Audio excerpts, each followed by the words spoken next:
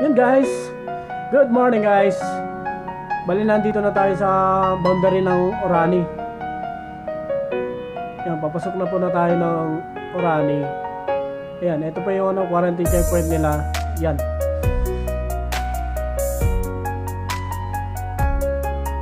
Yan, dadalan po tayo dito sa Orani para makita po natin yung ano, yung maganda nilang simbahan saka yung mismo nilang bayan. Bali guys, ano, last day ko na dito sa ano, sa Bataan ngayon. Actually, papunta na ako ng San Fernando ngayon. Ayun, balita natin ano, yung tawag dito. Yung Tala Beauty po, update doon, sarado pa rin siya, hindi pa rin sila nagpapapasok. Tapos yung ano, Sagrada Pamilya, isa ding ano, pilgrimage dito. Bukod dito sa ano sa simbahan ng ano ng Orani dito sa pinaka mismong bayan nila, yung Sagrada Pamilya, isa ring dinada yung ano, pilgrimage dito. Yung kasi guys, open lang siya pag ano, Sabado Linggo. Kaya ano pa lang ngayon eh, weekdays pa lang. So, hindi na tayo akit dun.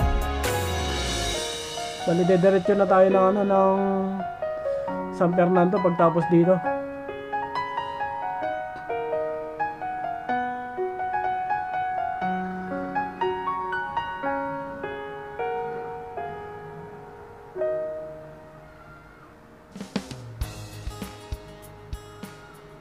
Grabe, traffic na.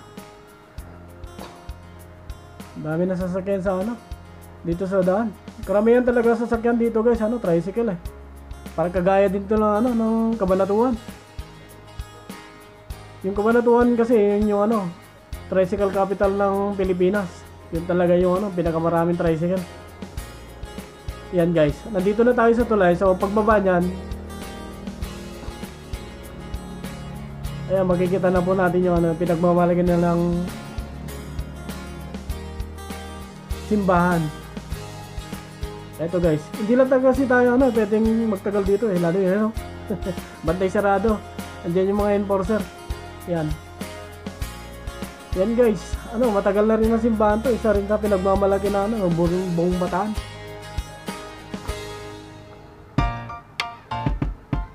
Ayun.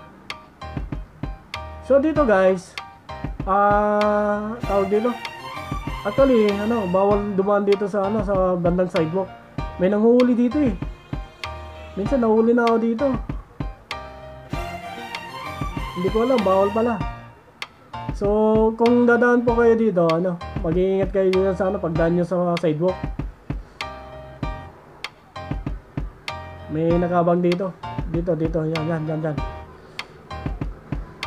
bigla na lang bubulaga sa inyo. Kaya ano, sana na wala. Ayan, pasok tayo.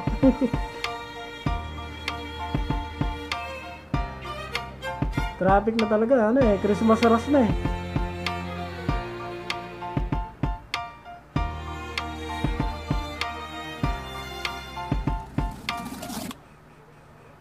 Yan. Sige yung mga tricycle. Yun o, dalawang big bag, naipit na.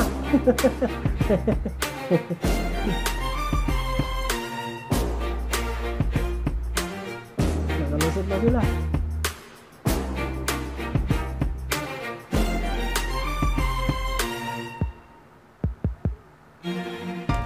Doon lang naman traffic guys, pag lagpas nyo ng ano, crossing na yun. Hindi na traffic eh. Diretso-diretso na yung ano, biyahe dito.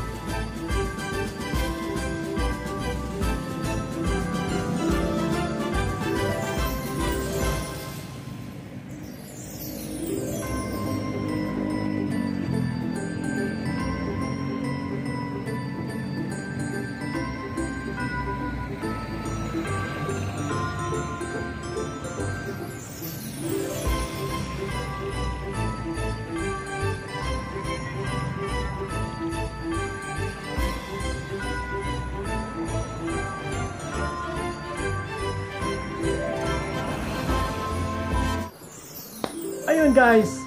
Lumalang tayo saglit ng ano ng SM San Fernando. Bali, may pinuntan lang tayo doon. Actually, ano, nag-canvas ako ng tawag dito. DJI Mavic, isang drone. Grabe. Ang mahal. Hindi pa natin kaya yun. So, ano, titingin na lang tayo sa Shopee. Kung para ano, may magamit tayo ano. Ito paano, aerial shot. So, ayun guys. Pupunta na tayo ngayon na ano, ng sa Fernando downtown. Actually, pupunta tayo din sa ano, capital town, yung ano. Ta tawag nila doon. Mega World. Bali pupuntahan natin yung ano, yung pinakamalaking McDo dito sa Pilipinas. Actually, ano,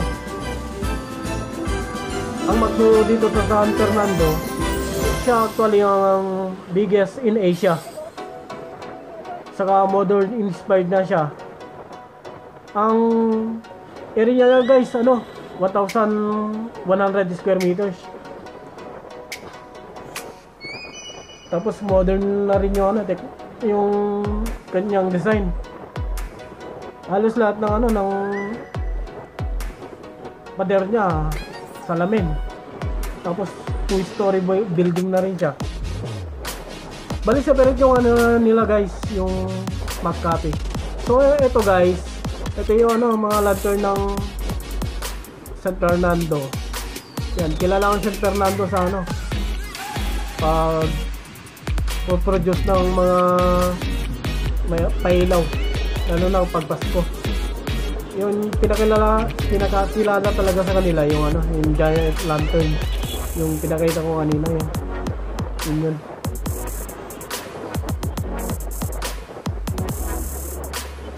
So papunta tayo na intersection ngayon. Eh, ito na. Yan. Packet na. Yan. Yan yung McDo yan guys. Hindi yan yung ano pupuntahan natin. Malit lang yan. Yung McDo dito sa intersection, kumpara dun sa ano, sa may Capitol Boulevard. Yung nasa intersection kasi guys, ano eh, one story lang siya. So ito, ito, yan, nandito na tayo sa may Capital, Capital Town. Capital Town. Ito na yung entrance niya guys. Yan, lilibutin lang natin. Ang daming, ano, daming pailaw. Yan, yung mga stars na yan guys, yan yung talaga, ano, signature ng capital town. Ayun. Ito guys, ito yung, ano, dinedevelop na business district na, ano, ng Pampanga. Dito sa ano sa San Fernando. Napunta dito sa San Fernando. Instead na ano doon sila magtayo doon sa Clark City dito yung napili nila ayan ang laki na ano ng area nito 1,100 square meters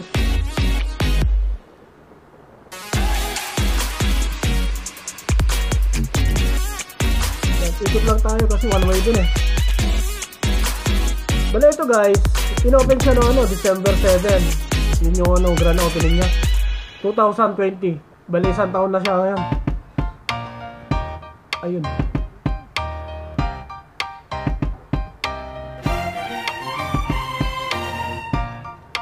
Ayun guys yun, yung ano niya, showroom. Ito yung showroom niya eh, may tower na yan. Hindi yata pwede pumasok dito. One way. So ikot na lang muna tayo.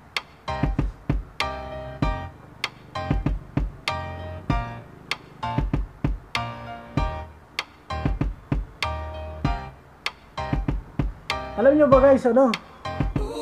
May nagpunta dito mga vlogger eh. Uh, bali nilakad na lang nila. Nilakad nila ano, mula Quezon City hanggang dito sa San Fernando. 62 kilometers. Umulan bumagyo, nilakad nila. Ang ko. Bali, ang seating capacity ng, ano, ng kanilang restaurant, yon yan. yung McDonald's mo, 300 yung seating capacity doon sa loob. Ba- bali meron pa mga upuan dyan sa labas. Bali, actually nga ano eh, karamihan ng kumakain dito. Te-take out na lang sila tapos pupunta dito sa may parking area. Yan. Kasi marami din ano dito eh, upuan.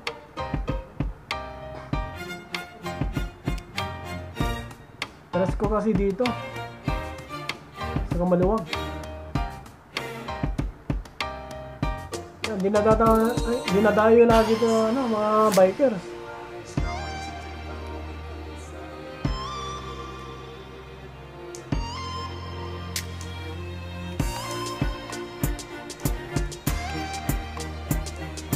Hanap tayo ng ano, hanap lang tayo ng mga papartingan. Yan yung malapit lang. Hindi ko alam kung saan ako pwede magparking dito sa loob eh. Kaya dito na lang tayo. Ayan, may gwardiya pa naman oh. Ay, dito na lang tayo. Baka meron bakante.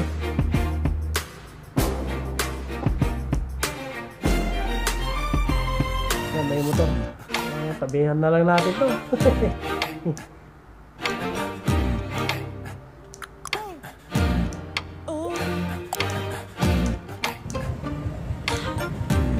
Ayan guys oh. Yun yung ano, showroom nila, yung may tower. Bali yung baba niyan, magkape.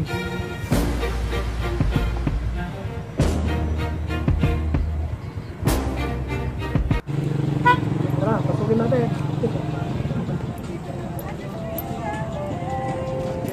Ayun guys, nandito na tayo sa ano, capital town. Ito yung ano, ito yung pinakamalaking McDo sa buong Asia. Bali meron na rin sila mga tsangga dito. oh. Yan, ang ganda ng mga pailaw dito. Maganda pala pag gabi dito. Wow. Yun o.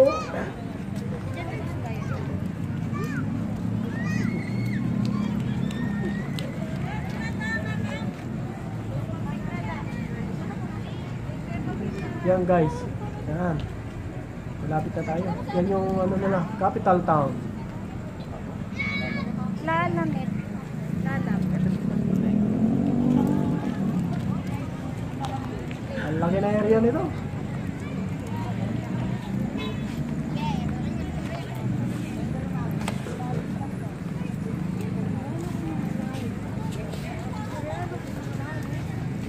Dahil bata. Bali ito guys, yung ano, pavilion nila. Yan. Dami nagsaselfie dito. Capital Town. Ayun, ayun yung ano nila. Yung magkape. Separate yung kapehan nila sa restaurant. Ay, maliwanag pala dito pag gagabi.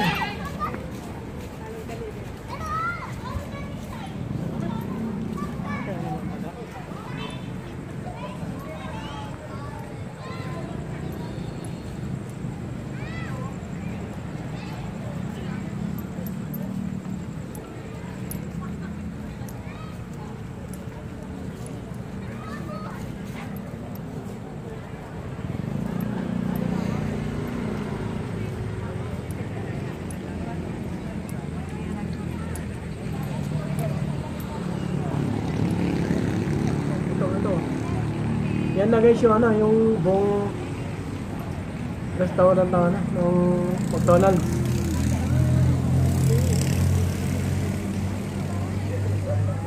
Selfie muna. Edit na lang natin yun.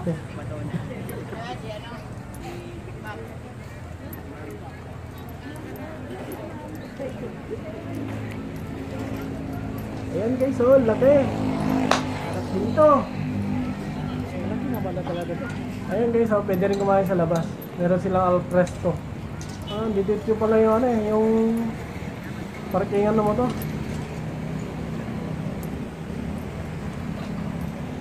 Yes. Ayan guys, oh, dalawang palapag. Bali ang kasya dito, ano, 300 na tao. Seating capacity niya.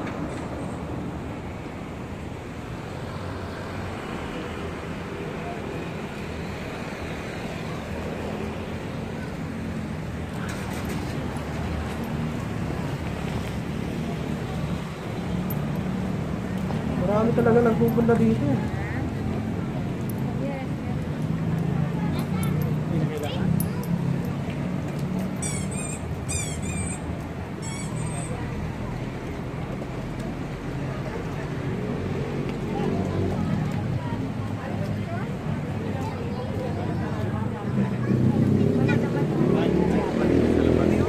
Kain tao. Ayun o. Yan. Yung mga pader niya guys, ano, puro salamin. Bali mo, modern style na yung ano niya. Yung structure talaga.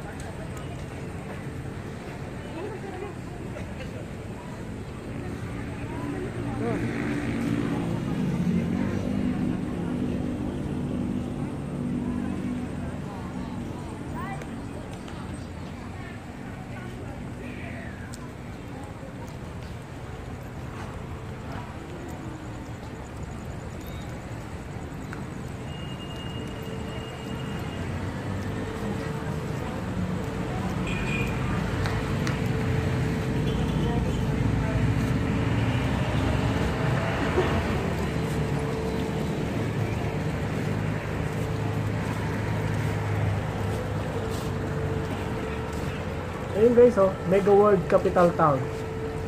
Ito po yung ano, Capitol Boulevard. Bali ito guys, malapit lang siya sa ano, San Fernando Station. Train station. Saka yung ano, yung Kapitolyo ng buong Pampanga nandito dito din. Kailera lang nito. So ito po yung ano, ito po yung highway Capitol Boulevard.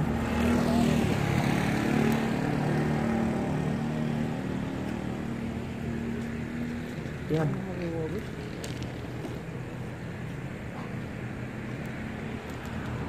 Ganda.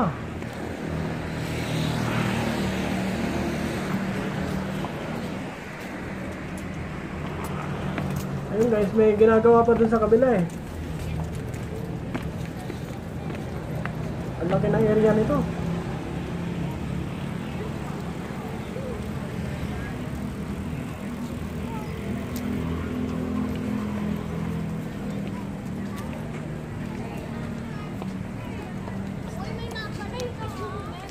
Oh, ayun guys oh. Yan yung ano, yung design niya.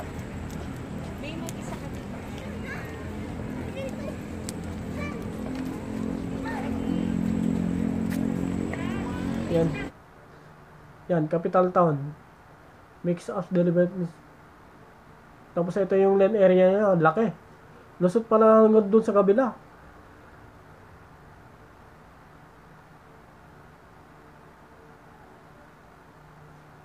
Oh, ayun.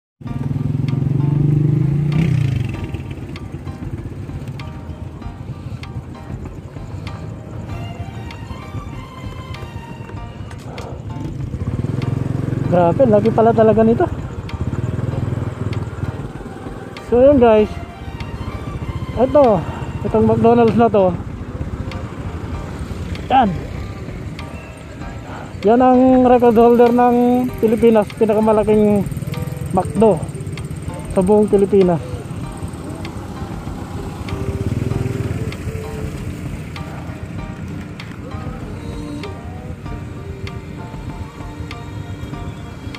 Grabe, laki.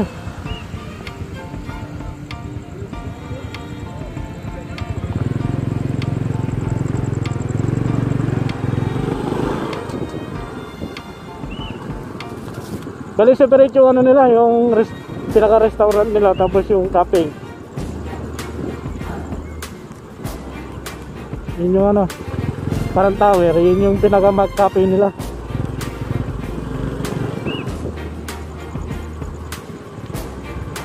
So, pauwi na tayo guys. Bali dito na lang tayo tatulog sana sa San Fernando. Meron naman ako apartment dito. So, lang tayo sa may simbahan.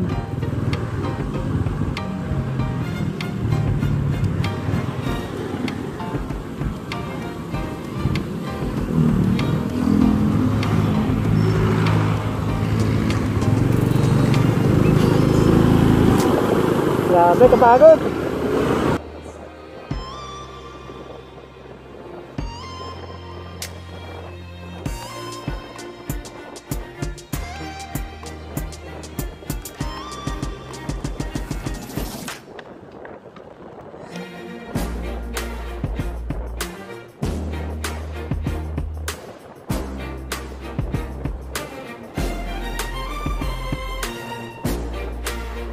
Ito na mga guys yung ano, yung Kapitolyo. Itong maraming ilaw na to.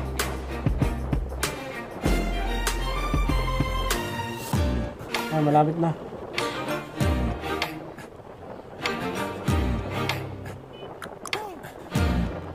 Yan guys, ito yung compound ng ano, Kapitolyo nila, yung Kapitolyo ng buong Pampanga. Bali ang harap nito, dito mo makikita yung ano, San Fernando train station. Ginagawa na siya ngayon, yung PNR station ng San Fernando.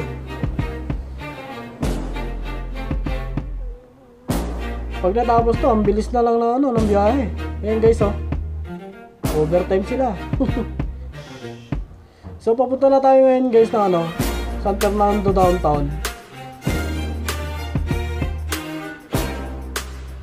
Bali, titingnan natin kung anong meron doon sa simbahan.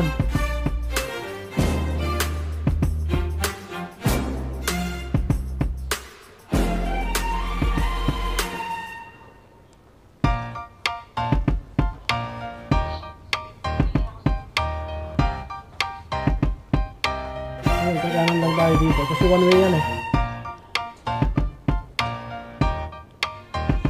Pagligo natin dito guys, nandito na yung ano, mga tourist attraction, yung mga heritage house.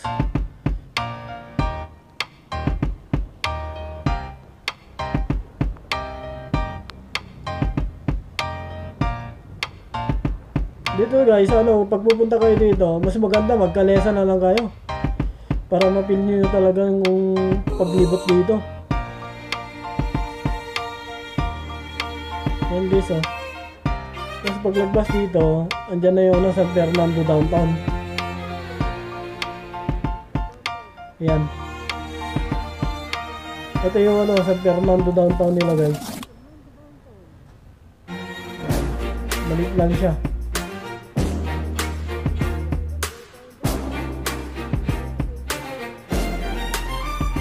Kasi ito na yung pinakamismong bayan nila. Yan, pagtawid dito, yan na yung simbahan. Tapos yung, yan, yung city hall nila, nandito na rin. Karap ng simbahan. Ang dami ng tiyanggi ah. Yan guys, oh, may misa. Ayun, dami tao. So, parking, patay tayo dito.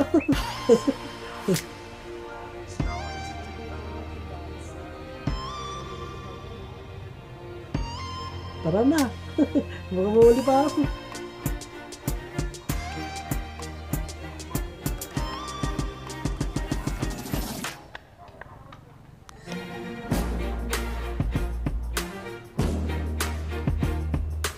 Yun o. Bakit pala tao dito pagkagabi?